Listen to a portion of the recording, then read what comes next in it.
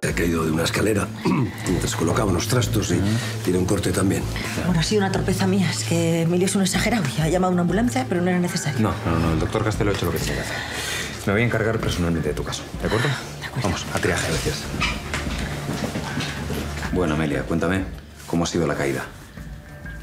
Bueno, nada, estaba encima de la escalera intentando coger una maleta y, y me he caído. Y es que me he caído sobre el hombro, o sea, un porrazo sobre el hombro. ¿Y recuerdas si has hecho algún sobreesfuerzo, un movimiento extraño, levantar demasiado peso con el hombro, deporte, un forcejeo? No, no, Álvaro, ya sabes que, que soy ilustradora de cuentos. Muchas horas en el ordenador, muchas horas dibujando con lápiz y papel. A ver. Un buen golpe, ¿eh? Sí.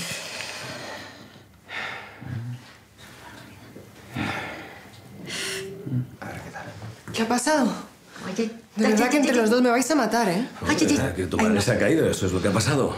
A ver, que no ha pasado nada, no ha pasado nada, una tontería. Lo que pasa es que tu padre se ha empeñado en llamar a una ambulancia y en traerme aquí.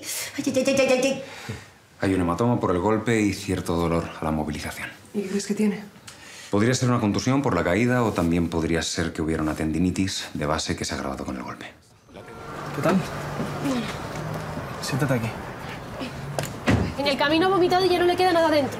Vale. Bueno, vamos para adentro. Oye, ¿y el coche? Nada, ahora lo aparcarán, déjalo ahí. A ver, despacito. Cuidado, ¿eh? Bueno, vamos a ver, Marta. Cuéntame qué pasó. Pues nada, el, que el sábado salí, bebí más de la cuenta y me he tirado todo el domingo vomitando. Y cuando llegué el domingo me encontré con un panorama que no te pueden ni imaginar. Es que no, no lo entiendo. Tú sales con tus amigas y vuelves fresca como una lechuga. Yo para una vez que salgo, mira cómo me pongo. ¿Y tú por qué no me dijiste nada que estuvo todo el día vomitando? Bueno, porque pensé que era una resaca normal, no creía que tuviera importancia. Ya. Bueno, a ver, déjame, que la voy a auscultar. 9-6. Vale. A ver.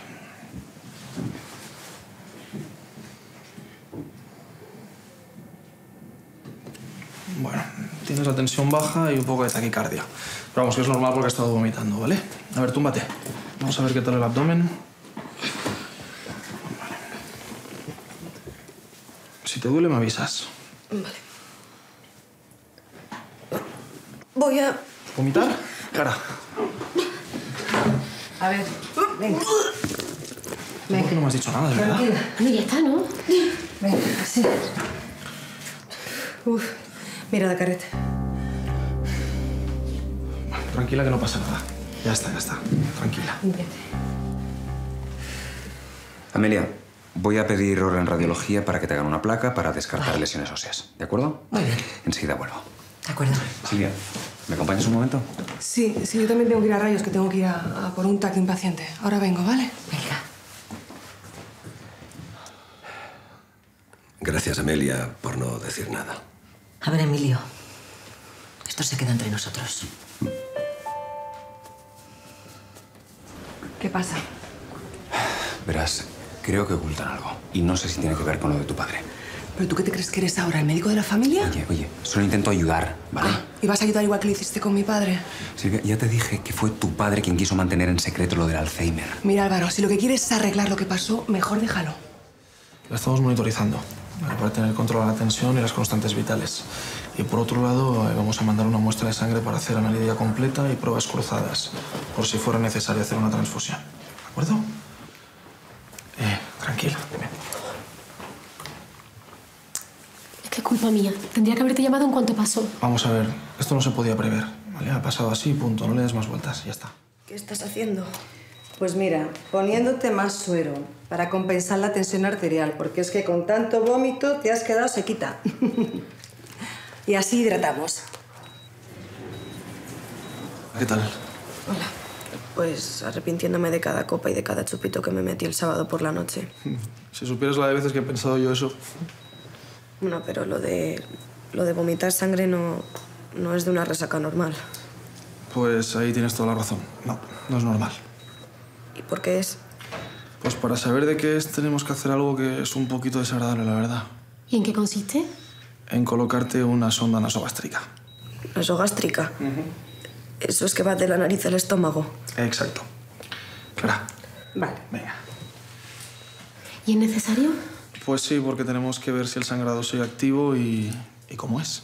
Pero bueno, Marta, no te preocupes. Vamos, que yo soy buenísima poniendo esto. No te vas a enterar, ya verás. Eh, En eso tienes razón, ¿eh? Porque tenemos una enfermera aquí en el hospital, ¿cómo se llama? Eh, Carmela, Carmela. Carmela, que le da igual el tipo de paciente que tiene, porque se te pone encima de los hombros y necesitas... en- Pero vamos, que no te preocupes, que, que Clara es la mejor del hospital en esto. Ma, por favor, que me digas lo que pasa, que ya no soy una niña.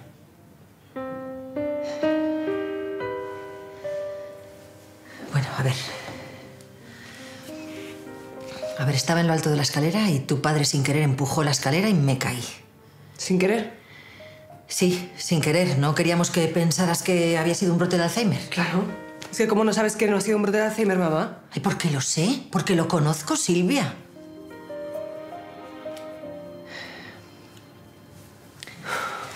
Mira, Silvia, yo tengo que decirte algo. Estaba cogiendo la maleta no porque me fuera a ir de viaje. Voy de casa. Tu padre y yo nos vamos a separar.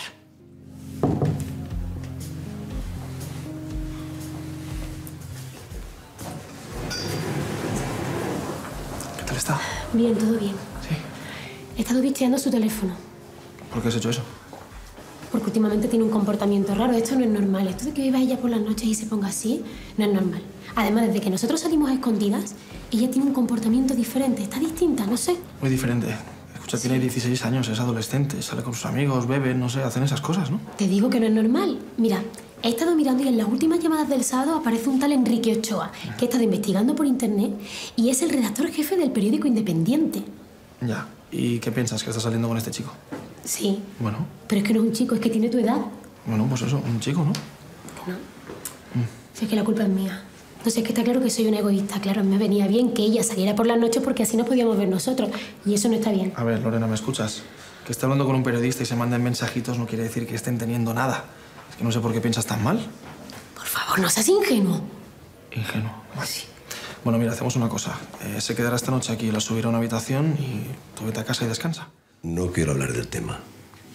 He estado hablando con mamá y me ha contado la estupidez que se le ha metido en la cabeza ahora con eso de que quiere separarse. Tu madre se ha echado atrás en lo de la separación. He sido yo el que no ha querido. ¿Cómo que has sido tú? Ah, Tengo mis motivos. Pero papi, ¿tú no te das cuenta de las circunstancias? ¿De qué circunstancias hablas? Pues de las tuyas. O sea, ¿que me dices que no puedo divorciarme porque estoy enfermo? No, papá, yo no he querido decir eso. Pero lo has dicho. No quiero que tu madre siga conmigo por pena. Hay sangre. A ver, déjame. Marta, ¿me oyes? Vale, escúchame, habrá que hacer transfusión de sangre, así que habla con banco de sangre para que preparen una bolsa de Matías concentrado y con digestivo porque habrá que hacer una gastroscopia, ¿vale? Voy a ir. Gracias. Y mamá. Mamá, la he mandado a casa a descansar, ¿vale? Pero estoy aquí para lo que necesites. ¿De acuerdo?